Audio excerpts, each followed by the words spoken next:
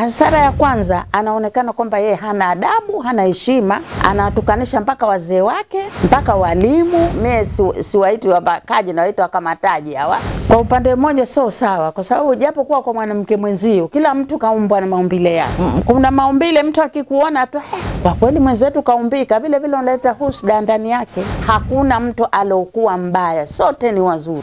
Mwanamke ni mzuri, mwanaume ni mzuri, hakuna leo umbwa mbaya. Kuna baadhi ya vitu tu tumepitana, unaweza kuwa una hichi, mwezi ana hichi. Hata kwa hao maharusi wanavaa nguo wakati mwingine inaonesha mpaka wapi. Kama we ni harusi, basi zile nguo zetu ziwe za stara vile vile. Ushakuwa mke wa mtu pale, asikuone kila mmoja.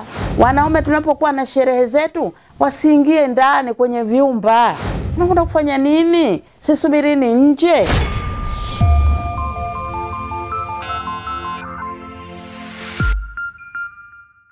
Assalamu alaikum warahmatullahi wabarakatu, mpenzi mtazamaji wa Adil TV, langu jina ni Shinuna Muhammad. Nichukue fursa hii kukualika ama kukukaribisha katika kipindi chako pendwa kabisa, kipindi cha hijabu yangu. Katika kipindi chetu cha leo, tutakwenda kuzungumzia mada ya stara yangu, lakini pia mimi sitakuwa mwongeaji. Mambo yote haya tuna mgeni wetu hapa, ndiye atakayetuzungumzia na atakayetuelekeza ni nini hasa stara na ni nini hasa hijabu. Na mama, karibu. Asante sana ndugu mtangazaji, karibu sana. Jina langu ni Tatu Abdalla Shabani, au kitaka jina jingine ni Tatu Mwalimu. Mimi ni mwalimu mstaafu, nimemaliza elfu mbili na kumi na nane katika skuli ya Magogoni. Mimi ni mwalimu mstaafu. Mtazamaji wa Adil TV kama alivyokwisha kujielezea mwenyewe ya kuwa yeye ni mwalimu mstaafu wa skuli ya primary ya Magogoni. Basi huyu leo ndiye atakuwa mgeni wetu na ndiye atakayekwenda kutuangazia na kutuelekeza ni nini hasa stara. Na katika kipindi hiki mtazamaji, ni kujuze tu, tutakwenda kuangalia mambo tofauti yanayohusiana na stara. Tutakwenda kuangazia hijabu yangu na stara yangu ni nini hasa kwa mwanamke, lakini pia masuala mbalimbali ya usafi katika ndoa, lakini pia masuala mengine kadha wa kadha kwa mujibu wa vipindi. Mtazamaji, ni kusihi pia usisahau kusubscribe, kucomment na kushare channel yetu hii pendwa kabisa ya Adel TV ili wewe wa kwanza kupata taarifa zetu. Basi twende na undani wa kipindi hiki. Bi Tatu, labda kwa taaluma yako ambayo upo nayo, unaweza ukatuambia ni nini hasa maana ya stara? Nitakwambieni, stara ni ni mtu ambaye una, unatakiwa ujistiri we mwenyewe kwanza katika kiwiliwili chako, uwe umevaa vipi. So sio si unaenda tu kama vile mtu ambaye ulikuwa huna mchunga. Wakati mchunga yu Mwenyezi Mungu na Mtume Muhammad sallallahu alaihi wasallam ni mchunga wetu, na alituelekeza tuvae vipi sisi wanawake na tufanye nini. Hiyo ndo hali ilivyo. Mwanamke anatakiwa avae nguo zake zote, as, asionekane kiungo chake isipokuwa kiganja na uso tu ndio uonekane kwa mtu yoyote, kwa mwanamme hasa nje, unapokuwa nje au mwanjiano unatembea, isipokuwa kama uko kwako na mumeo hamna tatizo, lakini kama uko njiani mwenyewe unatembea, pengine umekwenda zako mjini tu, unatakiwa uvae hijabu, yaani nguo, japokuwa si hijabu ile ya kuonekana uso nini, ile ya kufunga nyuma sijui nini. Aa, hata kama wewe utavaa tu nguo yako mwenyewe, mikono yako mirefu au Biblia lako mwenyewe umejistiri vizuri tu, basi pia ni hijabu ambayo hata mtu akikuona hawezi akakuona wewe ni mtu ambaye umekuwa huna malezi. Mitatu ni mzoefu kwa wanafunzi, ni mstaafu, mwalimu mstaafu. Ndio. Labda unaweza ukatwambia kwa uzoefu wako wa ualimu kwa ulivyosomesha wasichana na wavulana Mm. labda unaweza ukatuambia hii hijabu ikiwepo kwa msichana ina faida gani? Kwanza ina faida kwamba yeye mwenyewe ataonekana ni mtu ambaye anaye- anayejistahi mwanafunzi, ataonekana yeye ni mtu wa staha tu kwa, wa, kwa tangu kwa walimu, wanafunzi mpaka jamii ya nje. Akimwona tu anajua huyu mtoto ana adabu zake na heshima zake. Halafu vile vile kuna hijabu nyingine ya kuwa labda unazungumza maneno matusi matusi hivi, hata kama umevaa mwenyewe umejistahi, lakini hasa nataka ile pronunciation yako iwe ni nzuri, uwe unazungumza maneno mazuri. Vile vile nayo ni hijabu. Mtazamaji, kujistiri tu si hijabu ama si stara. swala zima la kauli unachozungumza pia kinaingia katika hijabu yangu, stara yangu. Naam, labda kukikosekana kwa hii stara kwa wasichana kunakuwa kuna hasara gani? E, kuna hasara nyingi. Ha, hasara ya kwanza anaonekana kwamba yeye hana adabu, hana heshima, anatukanisha mpaka wazee wake mpaka walimu, ambao walimu ni kitu cha mwanzo kabisa. Akionekana tu ndio mnapofundishwa kwa skuli, mnapofundishwa na walimu hivyo, anaonekana yeye hana adabu. Halafu vile vile inachangia mpaka hawa ambao si, siwaiti wabakaji, nawaita wakamataji hawa, nao vile vile nao unawaita mwenyewe Labda kwa masuala ya wasichana mm. ile stara iwe stara hasa inatakiwa iweje?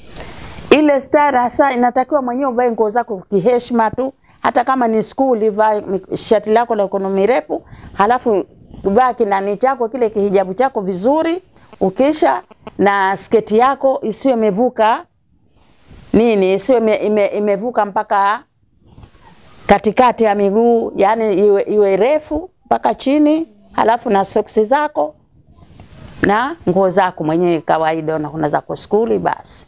Na je, mm. ni sahihi kukaa na mwanamke mwenzio na ukajiachia, yani ukajihisi uko huru kama, kwa sababu kuna baadhi ya watu wanafikiria labda stara inahitajika kwa mwanamme tu ama wakati tu wa kutoka nje, lakini ukiwepo ndani kuwa na wanawake wenzio unahisi unaweza ukakaa vyovyote. Je, yeah, hili ni sawa? Kwa upande mmoja sio sawa, kwa sababu japo kuwa kwa mwanamke mwenzio, kila mtu kaumbwa na maumbile yake. Kuna kuna maumbile mtu akikuona tu eh, unajua mimi nimemwona Sara pale kavaa, lakini ah, kwa kweli mwenzetu kaumbika vile vile, unaleta husda ndani yake, japokuwa hakuna mbaya.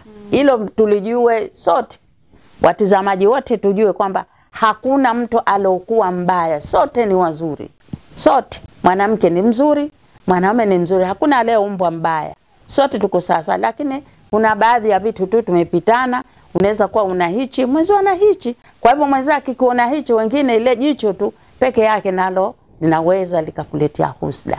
Mtazamaji, tupo na mwalimu mstaafu wa skuli ya Magogoni Bi Tatu. Yeye ndiye anatuelekeza ama kutufahamisha ni nini hasa stara na stara ya mwanamke ipoje. Sitaki kuishia hapo tu Bi Tatu, nataka pia tuangazie katika masuala mazima ya sherehe. Sasa hivi tumeona katika sherehe mtu anashona tu anapojisikia mwenyewe na kuvaa vyovyote anavyotaka mwenyewe. Je, labda kuna uhalali wowote katika sherehe kuvaa nguo za kuonyesha kidogo na mambo kama hayo? Hamna, hamna, isipokuwa tunafanya tu sie wenyewe kwa kutaka wenyewe, hasa sisi wanawake. Tunaweza tuka umekwe, umeletewa kijora. Kijora hichi, shoga yangu, nunue. Sawa, umekinunua kile kijora, lakini unamtafuta fundi zaidi akipasue, yaani huku apasue na huku apasue. Kwa kweli sio nzuri, hata kwa hao maharusi wanavaa nguo wakati mwingine inaonesha mpaka wapi. Kwa kweli sio nzuri. Kama we ni harusi, basi zile nguo zetu ziwe za stara, vile vile tuwe tunavaa vizuri, nguo sioneshe umbo lake. Usawe we ni mke wa mtu, ushakuwa mke wa mtu pale, asikuone kila mmoja. Halafu wanaume tunawaomba jamani, tu, kwa mimi naomba wanaume tunapokuwa na sherehe zetu wasiingie ndani kwenye vyumba, kwa sababu wanaingia kundi baada ya shekhe peke yake na wazee wake yule mtoto na baadhi ya maalii pale, ili kwenda kufunga ile ndoa au kumalizia ile ndoa, lakini utakuta watu wanaingia kundi la watu tele mle ndani. Unakwenda kufanya nini? Sisubirini nje. Nayo vile vile kwa upande mmoja, kwa kweli inakera kwa sie wengine, inakera na wale nilikuwa naomba kama ndo imekuwa ndo utamaduni wetu, sasa hivi sio utamaduni wetu kwa kweli, kwa sababu naweza nikaelezea hata utamaduni wetu zamani ulikuwa hamna mambo hayo. Ehe, alikuwa anakuja shehe pale anamuuliza yule amtaka idhini, basi hamna haja kuingia watu tele. Aa, kwa kweli mambo hayo jamani, tuyaacheni. Mtazamaji, tukiwa tupo ukingoni wa kipindi hiki cha Stara Yangu, na leo mada kubwa ambayo tunaizungumzia hapa ni hijabu yangu. Hii hijabu hasa ina faida gani kwa mwanamke, na pia il, ni vipi tuvae ama ni vipi tujistiri kutimiza ile hijabu kwa mujibu wa dini yetu ya Kiislamu. Na arudi kwako tena Bitatu, labda una maoni gani kwa vijana na jamii kwa ujumla kuhusiana na swala zima la stara? Mimi maoni yangu kwamba wanawake tujistiri, tuvae tu- tuvae vizuri, ikiwa mkubwa, ikiwa uko saizi, ukiwa nini, lakini tuvae vizuri. Halafu vile vile tuanzishe watoto wetu tangu wadogo wawe wanakuwa wanavaa vizuri.